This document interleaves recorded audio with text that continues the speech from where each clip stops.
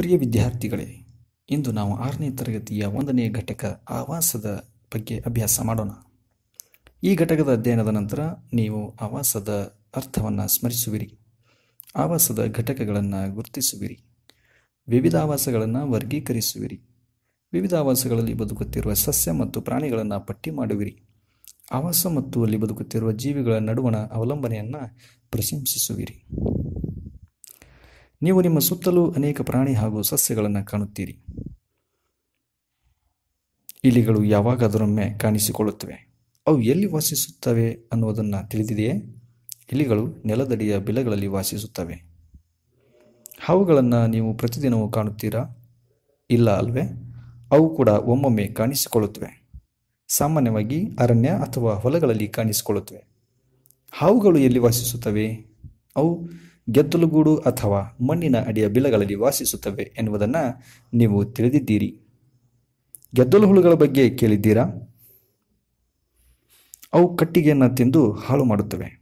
ಅವು ತಮಗಾಗಿ ಮಣ್ಣಿನಿಂದ ಗೆದ್ದಲುಗೂಡು ಟರ್ಮಿಟೇರಿಯಂಗಳನ್ನು ಕಟ್ಟಿಕೊಳ್ಳುತ್ತವೆ.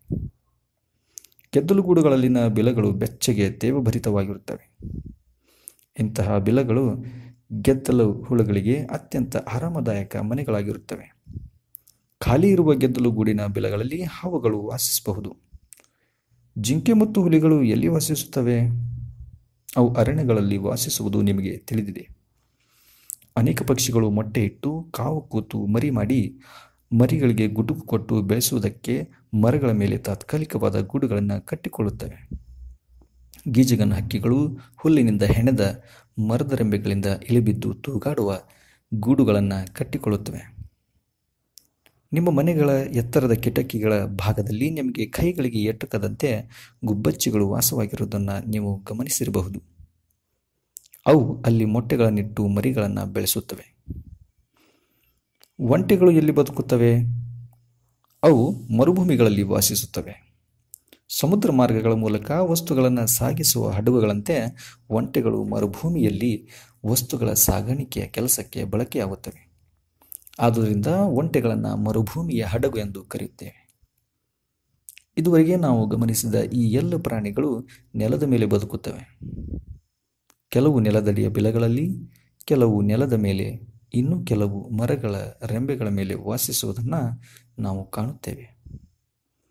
ಪ್ರಾಣಿಗಳು ನೆಲದ ಮೇಲಲ್ಲದೆ ನೀರಿನಲ್ಲಿಯೂ ವಾಸಿಸುತ್ತವೆಯೇ?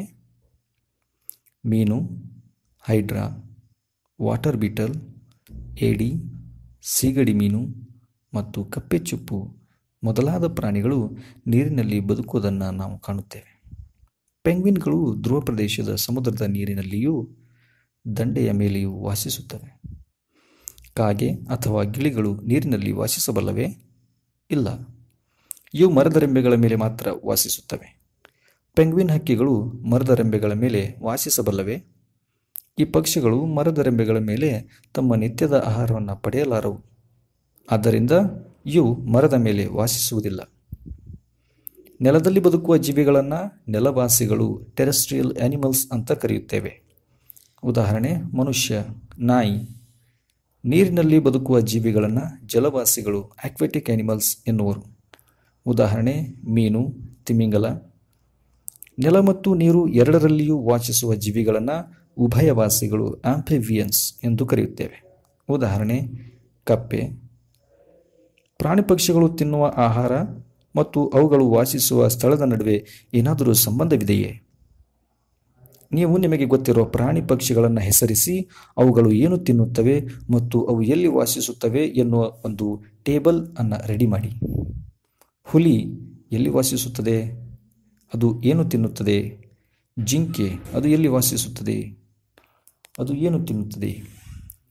ಮರಕುಟುಕ, ಬಾತುಕೋಳಿ, ಗಿಳಿ, ಮೀನು ಬಸವನ ಹುಳು ಕಾಡುಕೋಣ, ಹಾವು, ಪೆಂಗ್ವಿನ್. ಇವು ಇವುಗಳ ಆಹಾರ, ಇವು ವಾಸಿಸುವ ವಾಸಸ್ಥಾನದ ಬಗ್ಗೆ ನಾವು ತಿಳಿದಾಗ ಈ ಚಟುವಟಿಕೆಯ ಮೂಲಕ ಪ್ರಾಣಿಗಳ ವಾಸಸ್ಥಾನ ಮತ್ತು ಅವುಗಳ ಆಹಾರ ಈ ಎರಡರ ನಡುವೆ ಸಂಬಂಧ ಇದೆ ಎಂಬುದನ್ನು ನಾವು ತಿಳಿಯಬಹುದು. ಪ್ರಾಣಿಗಳಿಗೆ ಎಲ್ಲ ಆಹಾರ, ಪ್ರಾಣಿಗಳಿಗೆ ಎಲ್ಲಿ ಆಹಾರ ದೊರೆಯುತ್ತದೆಯೋ ಅಲ್ಲಿ ಬದುಕುತ್ತವೆ. ಆದ್ದರಿಂದಲೇ ಗಿಳಿಗಳು ಮರಗಳ ರೆಂಬೆ ಬಿಟ್ಟು ಬಾತುಕೋಳಿಗಳಂತೆ ನೀರಿನಲ್ಲಿ ಬದುಕಲಾರವು ಪ್ರಾಣಿಗಳು ಬದುಕಲು ಆಹಾರ ಸೇವಿಸುವುದು ನಮಗೆಲ್ಲ ತಿಳಿದೇ ಇದೆ. ಬದುಕಲು ಬೇಕಾಗುವ ಇನ್ನೊಂದು ಚಟುವಟಿಕೆ ಯಾವುದೆಂದು ಹೇಳುತ್ತೀರಾ? ಎಸ್, ಅದೇ ಉಸಿರಾಟ. ನಾವು ನಮ್ಮ ಶ್ವಾಸಕೋಶಗಳಿಗೆ ಗಾಳಿಯನ್ನು ತೆಗೆದುಕೊಳ್ಳುತ್ತೇವೆ.